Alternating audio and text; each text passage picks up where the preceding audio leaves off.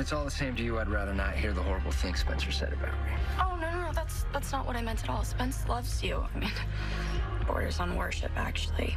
He said you were the best father in the universe. It made me jealous, actually, of how close you two were when he was growing up. Spence made it seem like it was the two of you against the world. It was.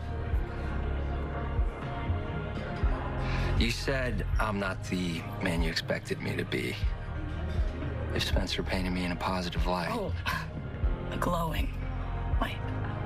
does that mean that I'm worse than you expected? How I believe I was dead. I'll always regret that decision. You misunderstood what I meant.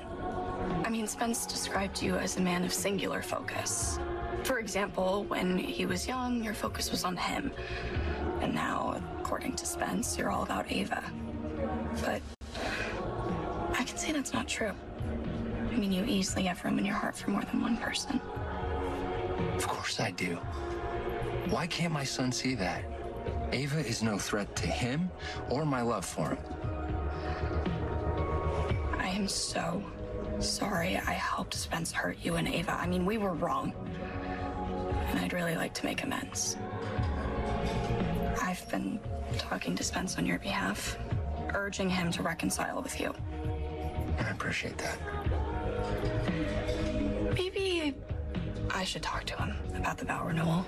You know, soften Spence up before you speak with him. I'm so sorry that it took so long. Yeah, an important call. It was about Ryan. Ryan Chamberlain, who's calling you about him? It was Kevin.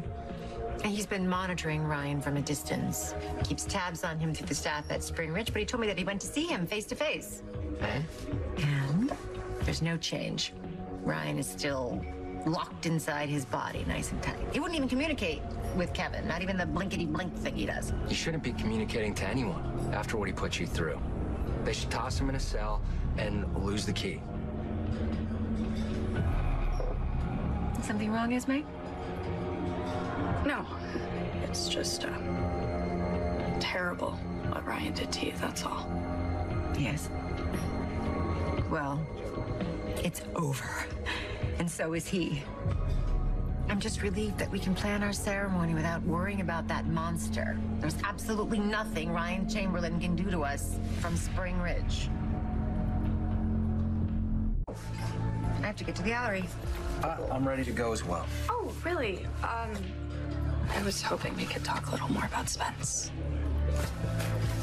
Stay. Only if I can walk you out. What?